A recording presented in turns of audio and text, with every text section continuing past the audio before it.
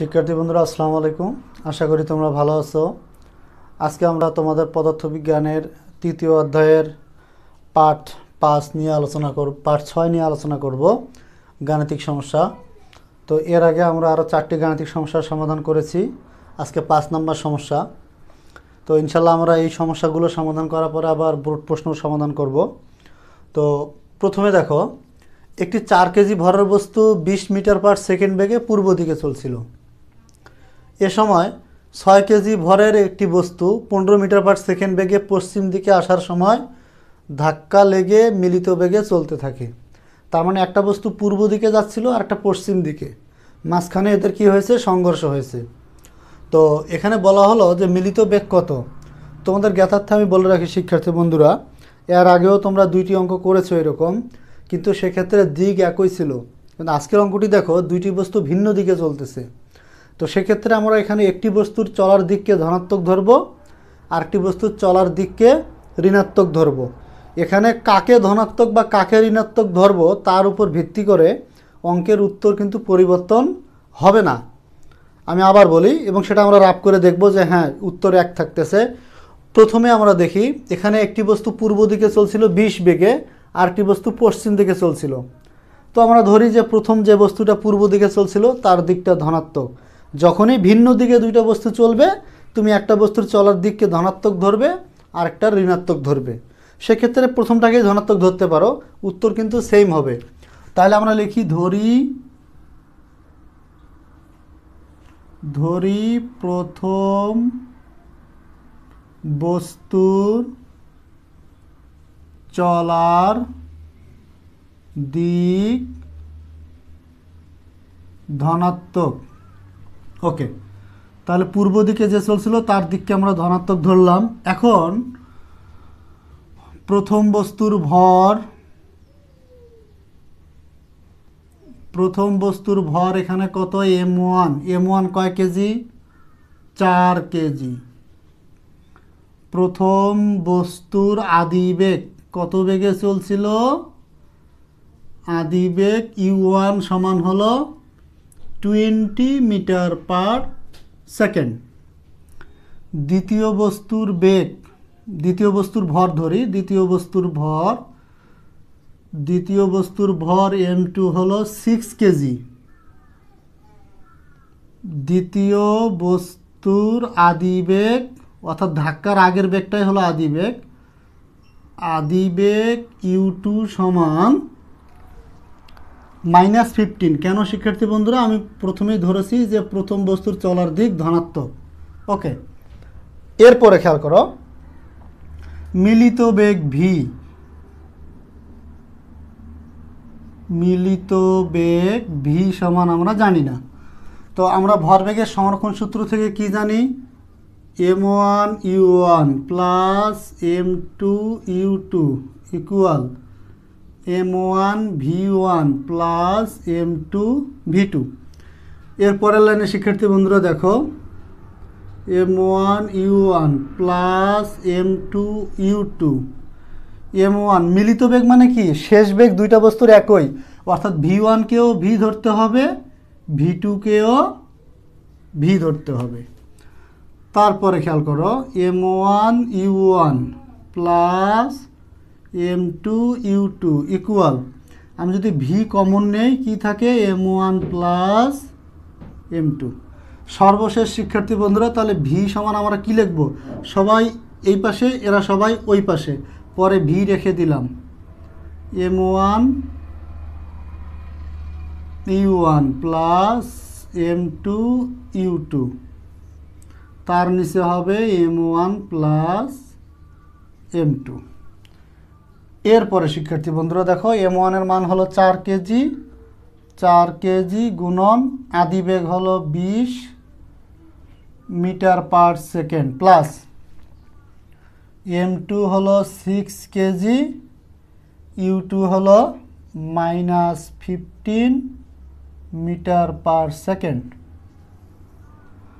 M one plus M two চার KG plus ছয় KG. চার কুড়ি কত? আশি। আর এখানে ছয় পনেরোয় নব্বই। নব্বই থেকে আশি যদি বিয়োগ যায়, তাহলে কত থাকে? দশ। তার মানে minus ten KG metre per second উপরে থাকে। আর নিচে হলো চারে ছয়ে দশ কেজি। এই কেজি কেজি কেটে দিলাম। তাহলে বেগ কত আসলো? Minus one metre per second. তাহলে শিক্ষার্থী বন্ধুরা, নেগেটিভ কি বোঝাচ্ছে? দ্বিতীয় বস্তু যেদিকে যাচ্ছিল সেদিকে যাবে। তাহলে এই অঙ্কটার অ্যান্সার কি হবে? ধাক্কার পর অ্যান্সার অ্যান্সার হবে ধাক্কার পর ধাক্কার পর ওয়ান মিটার পার সেকেন্ড বেগে দ্বিতীয় বস্তুর দিকে মানে পশ্চিম দিকে, দ্বিতীয় বস্তুর দিকে চলবে। তো শিক্ষার্থী বন্ধুরা, আমি তোমাদের আরেকটু বলে নেই, এই জাতীয় অঙ্ক হলেই একটার দিক ধনাত্মক ধরবো একটার দিক ঋণাত্মক ধরবো। এখানে দেখো, আমাদের কিন্তু এখন আর মাইনাস নাই। জাস্ট মাইনাসটা আমরা কী জন্য ব্যবহার করেছি? একটার দিককে প্লাস আর একটার দিককে মাইনাস ধরেছি। এরপরে দেখো, এখানে অ্যান্সার এসেছে মাইনাস ওয়ান তো মাইনাস ওয়ান মানে কি? প্রথম বস্তুর দিকটা প্লাস ছিল, দ্বিতীয় বস্তুর দিকটা মাইনাস ছিল। তার মানে এটা দ্বিতীয় বস্তুর দিকেই হবে। অর্থাৎ ধাক্কার পর এত বেগে দ্বিতীয় বস্তুর দিকে চলবে। তাহলে তোমরা উত্তরটা একটু মনে রাখো। ধাক্কার পর ওয়ান মিটার পার সেকেন্ড বেগে দ্বিতীয় বস্তুর দিকে চলবে। কোন দিকে? দ্বিতীয় বস্তুর দিকে। এখন আমি এই অঙ্কটাকে তোমাদের একটু কারেকশন করে দেখাচ্ছি। দেখো, মনে করো আচ্ছা আমি এখানে লিখে দিলাম যে রাফ কেউ যদি ধরে যে ধরি প্রথম বস্তুর চলার দিক ঋণাত্মক দেখো অ্যান্সার কি ভিন্ন হয় কি না প্রথম বস্তুর চলার দিক ঋণাত্মক। তাহলে এখানে কি হবে শিক্ষার্থী বন্ধুরা? এখানে হবে মাইনাস এখানে হবে কি? প্লাস ওকে এখন অ্যান্সারগুলো মিলেই নেই। এদিকে তো ঠিক আছে, তাই না? আমরা এখানে কারেকশন করব। এই যে, চার গুণন কি হবে? মাইনাস বিশ। আর এখানে ছয় গুণন পনেরো। চার কুড়ি কত হয়? আশি। আশি থেকে নব্বই। এখানে মাইনাস আশি, এখানে প্লাস নব্বই। তাহলে কি থাকে? Plus ten KG metre per second আর নিচে টেন অ্যান্সার কত হয়? ওয়ান দেখো তো অ্যান্সার কিন্তু ওয়ানে হয়েছে এবং প্লাস প্লাস মানে কাকে ধরেছো? প্রথম বস্তুর চলার দিক ঋণাত্মক। তাহলে প্লাসকে দ্বিতীয় বস্তু প্লাস তো অ্যান্সার তো তাই হলো, ধাক্কার পরে এত বেগে দ্বিতীয় বস্তুর দিকে। তার মানে তোমাদের ভয়টিও দূর হয়ে গেল যে আসলে কোনটা কি প্লাস ধরবো, এটা নিয়ে তোমার টেনশনের কোনো দরকার নেই। আসলে প্লাস কাকে ধরবে মাইনাস কাকে ধরবে, তার উপর ভিত্তি করে অ্যান্সার কখনোই পরিবর্তন হবে না। ঘ নম্বরে দেখো, উক্ত সংঘর্ষতে ভরবেগ সংরক্ষিত হয়, গতিশক্তি হয়নি। তাহলে আদি ভরবেগের সমষ্টি M one U one plus M two U two M one কত? চার কেজি। ইউ ওয়ান ছিল কত? বিশ metre per second. Plus M two কত? ছয় কেজি। আর ইউ টু কত? Minus fifteen metre per second. চার কুড়ি কত? আশি। কেজি মিটার পার সেকেন্ড প্লাসে মানে যে মাইনাস ছয় পনেরো নব্বই কেজি মিটার পার সেকেন্ড। তাহলে কি থাকল? Minus ten KG metre per second. শেষ ভরবেগের সমষ্টি। শেষ ভরবেগের সমষ্টি M one V plus M two V. আচ্ছা এখানে আমরা এম ওয়ান কত জানি? চার কেজি আর এম টু হলো কয় কেজি? ছয় কেজি। চার আর ছয়, দশ কেজি। ইন্টু ভি ভি আমি কমন নিলাম। ভি হলো minus one metre per second তাহলে কত হয়? চার আর ছয়, দশ দশ একে দশ।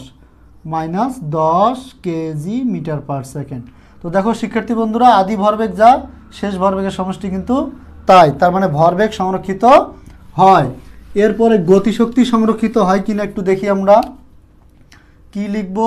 আদি গতিশক্তির সমষ্টি half M one U one square plus half M two U two square. আমি এখানে হাফ কমন নিলাম, এম ওয়ান হলো চার, ইউ হলো বিশ। এম টু হলো ছয় ইউ টু হলো মাইনাস পনেরো। তাহলে এখানে সেকেন্ড ব্র্যাকেট ইউজ করতে হবে। হাফ বিশ, বিশে চারশো। বিশ, কুড়ি, বিশে বিশে কত হয়? চারশো আর চার গুণ করলে ষোলোশো। পনেরো পনেরো, দুইশো পঁচিশ। আর ছয় গুণ করলে হবে ছয় দুগুণে বারো, তেরোশো পঞ্চাশ মাইনাস তেরোশত পঞ্চাশ। আচ্ছা তারপরে একটু শিওর হয়ে নেই। এখানে বলা হয়েছে ছয় পনেরো পনেরো উপরে স্কোয়ার। তাহলে পনেরো উপরে স্কোয়ার গুণন হলো ছয়, তেরোশো পঞ্চাশ, ঠিক আছে? বিশের উপর স্কোয়ার গুণন হলো চার, ষোলোশো বিয়োগ তেরোশত পঞ্চাশ, দুইশত পঞ্চাশ ভাগ হলো দুই, একশত পঁচিশ। এখানে একশত পঁচিশ জুল থাকে। তারপরে কি লিখব? শেষ গতিশক্তির সমষ্টি। শেষ গতিশক্তির সমষ্টি। শেষ গতিশক্তির সমষ্টি কি হবে? Half M one V one square. কিন্তু আমরা জানি যে দুইটা বস্তুর শেষ বেগ কমন ছিল। Half M two V square. Half আমি কমন নিলাম, শিক্ষার্থী বন্ধুরা। আচ্ছা হাফ ভি স্কোয়ার তো কমন নিতে পারি, তাই না? তাহলে কি থাকে এখানে? M one plus M two থাকে। একবারে করতেছি। হাফ ভি এর মান কত ছিল? মিলিত বেগ মাইনাস এক ছিল স্কোয়ার এম ওয়ান চার আর এম টু হলো ছয়। ওকে চার আর ছয় কত হয়? দশ। এক মাইনাস একের উপর স্কোয়ার দিলে কত হয়? সরি এখানে একটু ভুলেছে শিক্ষার্থী বন্ধুরা। মাইনাসের উপর স্কোয়ার এটা হবে কত? প্লাস এক্সট্রিমলি সরি আচ্ছা তাহলে ষোলো শত প্লাস তেরো শত পঞ্চাশ ভাগ হলো দুই। তেরো শত পঞ্চাশ প্লাস ষোলো শত। উনত্রিশ শত পঞ্চাশ ভাগ হলো দুই। চোদ্দ শত পঁচাত্তর হবে। চোদ্দ শত পঁচাত্তর জুল। ওকে এখানে মাইনাস ওয়ানে পরিষ্কার দিলে কি প্লাস ওয়ান চার হচ্ছে দশ আর দুই কত? পাঁচ। পাঁচ জুল। তো শিক্ষার্থী বন্ধুরা, তোমরা একটু দেখো, আদি গতিশক্তির সমষ্টি আর শেষ গতিশক্তির সমষ্টি সেম নয়। তার মানে কি? গতিশক্তি সংরক্ষিত হয়নি। আর ভরবেগ সংরক্ষিত হয়, সেটা আমরা আগেই করেছি। তো শিক্ষার্থী বন্ধুরা এরপরে আমরা শিক্ষার্থী বন্ধুরা, দেখো, একটি চারশো কেজি ভরের স্থির নৌকার দুই বিপরীত প্রান্তে চল্লিশ কেজি ভরের রাজু ও ষাট কেজি ভরের সাজু দাঁড়িয়েছিল। তারা একই সাথে যথাক্রমে টু মিটার পার সেকেন্ড ও ওয়ান মিটার পার সেকেন্ড বেগে পরস্পর বিপরীত দিকে লাভ দেয়। লাভ দেওয়ার পর নৌকাটি কোন দিকে যাবে? আচ্ছা তোমরা এখানে একটু চিত্রের মাধ্যমে খেয়াল করো। ভালোভাবে খেয়াল করো, এইখানে একটি নৌকা আছে, দেখো।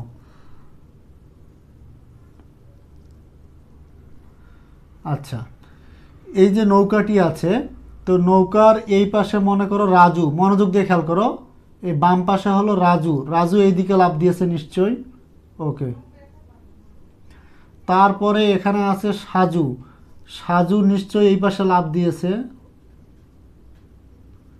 ওকে। এখন রাজুর ভর হলো চল্লিশ কেজি। খেয়াল করো, দুই বিপরীত প্রান্তে চল্লিশ কেজি ভরের রাজু ও ষাট কেজি ভরের সাজু ছিল। তাহলে এর ভর হলো ফর্টি কেজি। ফর্টি কেজি আর এর ভর হলো সিক্সটি কেজি। সাজু কত বেগে লাভ দিল? ওয়ান। আর রাজু দিল টু বেগে। তাহলে রাজু হলো টু মিটার পার সেকেন্ড বেগে লাভ দিয়েছে, আর Saju one metre per second বেগে লাভ দিয়েছে। আর মাঝখানে যে নৌকা আছে, এই নৌকার ভর হলো চারশত কেজি।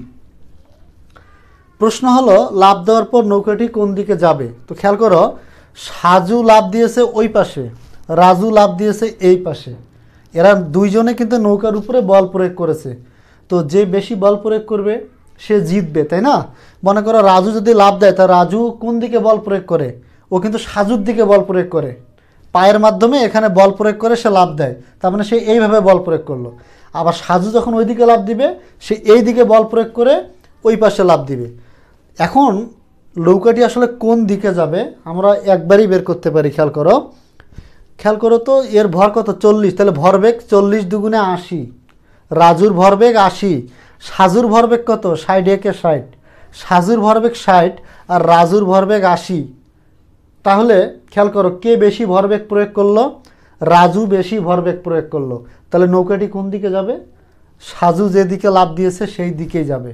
তো শিক্ষার্থী বন্ধুরা, উদ্দীপকটা দেখে তোমাদের হয়তো একটু বেশি জটিল মনে হয়েছে, কিন্তু দেখো, একদম ইজি তাই না?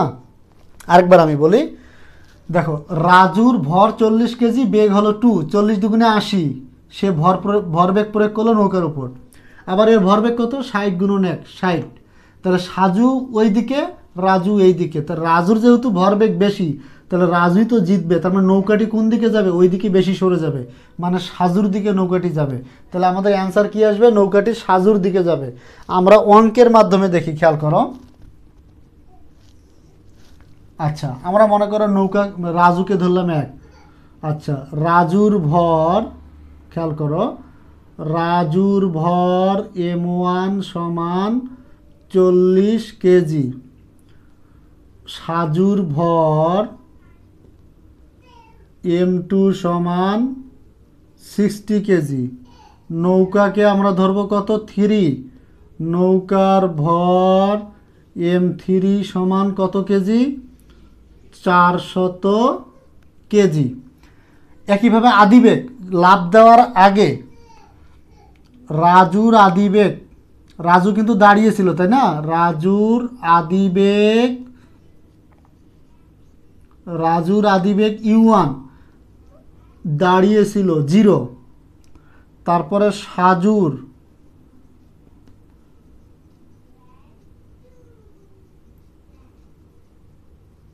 সাজুর আদিবেগ ইউ টু কত? জিরো। রাজু, সাজু, তারপরে হলো নৌকা। নৌকার আদিবেগ ইউ থ্রি সিকোয়েন্স ঠিক রাখতে হবে। রাজুকে ওয়ান ধরছি মানে ওর প্রত্যেকটি রাশিকে ওয়ান ধরবো। সাজুকে টু মানে প্রত্যেকটি টু নৌকাকে থ্রি মানে প্রত্যেকটি হলো থ্রি নৌকারও আদিবেগ জিরো ছিল, খেয়াল করো। একটি চল চারশো কেজি ভরের স্থির নৌকা, তার মানে কি আদিবেগ জিরো ছিল? এবং ওরা দুইজন কিন্তু বিপরীত প্রান্তে দাঁড়িয়েছিল তাই না? দাঁড়িয়েছিল তার মানে আদিবেগ ছিল জিরো তারা হঠাৎ এত এবং এত বেগে লাভ দেয়। তাহলে রাজুর শেষ বেগ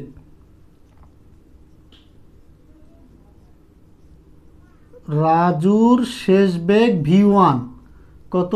Two metre per second. সাজুর শেষ বেগ ভি টু, কত? One metre per second. নৌকার শেষ বেগ নৌকার শেষ বেগ ভি থ্রি এখান থেকে আমরা বুঝব কোন দিকে নৌকা যাবে। তো শিক্ষার্থী বন্ধুরা, এখানে একটি কথা আছে, সেটি হলো যে আমরা যেমন তোমাদের পাঁচ নম্বর প্রশ্ন করলাম যে বিপরীত দিকে যদি হয় একটিকে প্লাস একটিকে মাইনাস ধরবো। তো রাজু লাভ দিয়েছে এই পাশে। তা আমরা যদি ধরে নেই যে রাজুর লাভ দেওয়ার দিকটা কি ধনাত্মক, আর সাজুর লাভ দেওয়ার দিকটা হলো ঋণাত্মক। এটা আমরা ধরে নেই একটু। ক্লিয়ার ওকে ধরি রাজুর লাভ দেওয়ার দিক ধনাত্মক। আচ্ছা রাজুর যদি লাভ দেওয়ার দিক ধনাত্মক হয়, তাহলে সাজুর বেগটা কি ধরতে হবে আমাদেরকে? মাইনাস ধরতে হবে। এখন আমরা ভরবেগের সংরক্ষণ সূত্র অনুযায়ী কী লিখব? M one, U one plus M two, U two. Plus M three, U three, equal M one, V one, plus M two, V two, plus M three M three, V three, তাই না? M three, V three. Okay.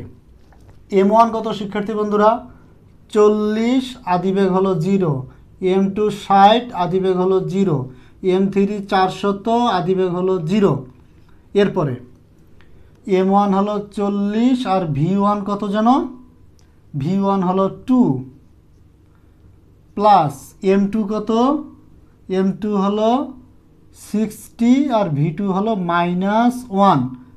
Plus M three হলো চারশত না? M three হলো চারশত, আর V three আমরা বের করতে চাচ্ছি। তো শিক্ষার্থী বন্ধুরা দেখো, গুণ করলে জিরো, গুণ করলে জিরো, গুণ করলে জিরো। মানে বাম পাশে সব কিছুর যোগফল হয়ে যাবে জিরো। ডান পাশে দেখো, চল্লিশ দুগুণে আশি, ষাট থেকে কত? ষাট প্লাস চারশত ভি থ্রি। ওকে, জিরো। তারপরে আশি থেকে ষাট বিয়োগ গেলে কী থাকে? বিশ থাকে। প্লাস চারশত ভি থ্রি।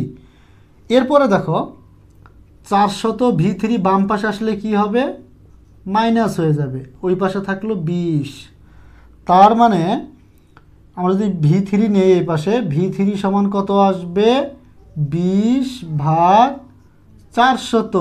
আর দুই পাশে মাইনাস দ্বারা গুণ করো, মাইনাসে মাইনাসে প্লাস, আর মাইনাসে প্লাসে মাইনাস। ওকে। এখন বিশকে আমরা চারশো দ্বারা ভাগ দেবো, তাই না? তাহলে ভি থ্রি সমান কি থাকল? মাইনাস আচ্ছা এই জিরো কেটে যায়, দুইকে চল্লিশ দ্বারা ভাগ দিলে হয় point zero five minus point zero five metre per second. আচ্ছা একটু শিওর হয় নাই আমরা।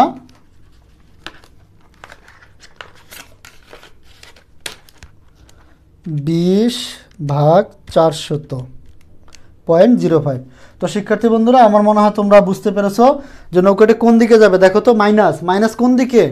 সাজুর দিকে। আমরা কিন্তু অঙ্ক করার আগেই সিদ্ধান্ত নিয়েছি যে নৌকাটি সাজুর দিকে যাবে। তাহলে তোমরা বুঝতে পেরেছ নৌকাটি আসলে কোন দিকে যাবে? সাজু যেদিকে লাভ দিয়েছে, সেই দিকে যাবে। তাহলে আমরা কি লিখব? সাজুর লাভ দেওয়ার দিকে, সাজুর লাভ দেওয়ার দিকে। যেহেতু সাজুর দিক বলছি, আর নেগেটিভ ব্যবহার করব না। Point zero five metre per second বেগে যাবে। ওকে, তো শিক্ষার্থী বন্ধুরা গ নাম্বার শেষ। এখন ঘ নাম্বার হলো ভরবেগ সংরক্ষিত হয় কি না ভরবেগ তো অবশ্যই সংরক্ষিত হবে, তাই না? তো আমরা তাহলে প্রথমে কি করব? আদি ভরবেগের সমষ্টি। ঘ নাম্বার। ঘ নাম্বার একদম সহজ। ঘ নাম্বার কি? আদি ভরবেগের সমষ্টি আর শেষ ভরবেগের সমষ্টি। আদি ভরবেগের সমষ্টি আচ্ছা সমান কি? M one U one plus M two U two plus M three U three okay এখানে আমরা যেহেতু ঘ করতেছি, আমরা ধরে নিলাম ঘয়ের জন্য আমরা এগুলো আবার লিখেছি, ঘয়ের জন্য আবার লিখেছি, তাহলে ভি থ্রি আমাদের জানা হয়ে গেছে, সেটা কি? Minus point zero five metre per second okay M one হলো forty U one zero, M two sixty U two zero M three four hundred U three zero সব কিছুর সামেশন কত? জিরো। শেষ ভরবেগের সমষ্টি। শেষ ভরবেগের সমষ্টি। শেষ ভরবেগের সমষ্টি, M one V one plus M two V two. Plus M three V three. M one কত হবে? ফর্টি ভি ওয়ান হলো টু। দেখো, ভি ওয়ান হলো টু। এম টু কত? সিক্সটি আর ভি টু হলো মাইনাস ওয়ান। দেখো, ভি টু হলো মাইনাস ওয়ান। এম থ্রি কত? ফোর হান্ড্রেড আর ভি থ্রি কত? Minus point zero five. Okay. চল্লিশ দুগুণে কত হয়? আশি। প্লাসে মানে যে মাইনাস সিক্সটি আর এটা গুণ করলে কত হবে? প্লাসে মানে যে মাইনাস টোয়েন্টি তাহলে এইটি আর মাইনাস এইটি কী হয়ে গেল? জিরো তাহলে শিক্ষার্থী বন্ধুরা দেখো, আদি ভরবেগের সমষ্টি জিরো শেষ ভরবেগের সমষ্টিও জিরো সুতরাং ভরবেগ সংরক্ষিত হয়। তো আমি তোমাদের ছোট্ট একটি রিকোয়েস্ট করব, সেটি হলো তোমরা কখনোই পূর্বের লেকচার না দেখে পরের লেকচারটি দেখবে না। তাহলে কিন্তু তোমরা এই ম্যাথগুলো ভালোভাবে বুঝবে না। বরং তোমাকে লেকচারগুলো একদম বোরিং ফিল হবে। কেন? আমি যেমন এখানে খুব দ্রুত ম্যাথটি সলভ করলাম। কেন করলাম? আমি M one U one M two U two এগুলোর উপর অনেকগুলো ম্যাথ তোমাদের করাইছি। সুতরাং এখানে আমাকে আবার স্লোলি যাওয়ার কোনো প্রয়োজন নেই। তাই আমি একটু দ্রুত গেলাম। কেউ যদি আগের লেকচার না দেখে এখানে দেখো, তাহলে বুঝবে না, জটিল মনে হবে। আর যারা আগের লেকচারগুলো দেখেছ, তারা সহজেই হয়তো এই জিনিসগুলো বুঝতে পারতেছো। তো শিক্ষার্থী বন্ধুরা, আজকের মতো এখানেই। ভালো থাকবে। আল্লাহ হাফেজ।